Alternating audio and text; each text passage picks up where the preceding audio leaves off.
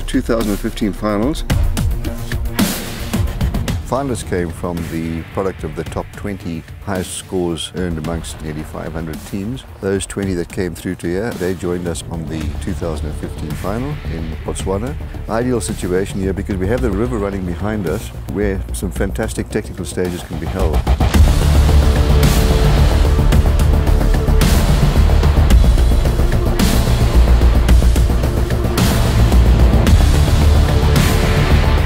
Saul could set up some very good uh, difficult stages. Um, he also narrowed the time down, the window period in the technical stages from 10 seconds to 5 seconds, which makes it very difficult for the contestants to actually do their timing and come through the finish within such a limited period of time.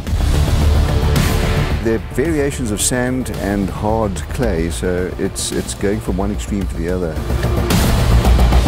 The guys that do technical are experts in that. We had our grand finale, which was uh, 5.4 kilometers long.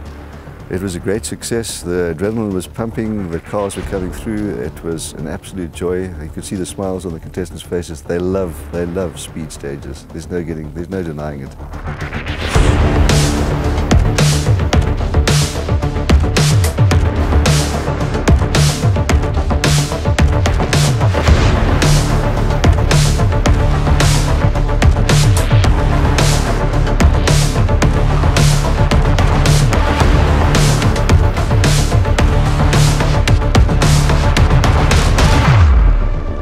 Predictions are the Ottos have always been um, a team or family, team over there to contend with.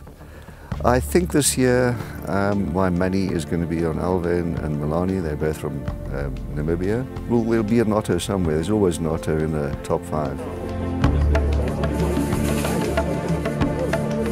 South African team for the international is Duplessis, Willie and Vickers, Johan Grant and Marius Hen, Piet en Benjamin Kotze, teens Otto, Evert Achenbach, Jackie en Natasha Pisagi.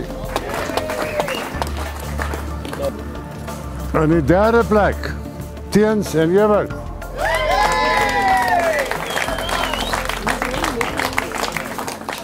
En in die tweede plek, na 'n helde goeie dag, Piet en Benjamin. Welverdiende oorwinning. Hy was vandag een af daar tot aan die einde. En ook die eerste Namibier wat die kompetisie wen. Alwyn en Melanie.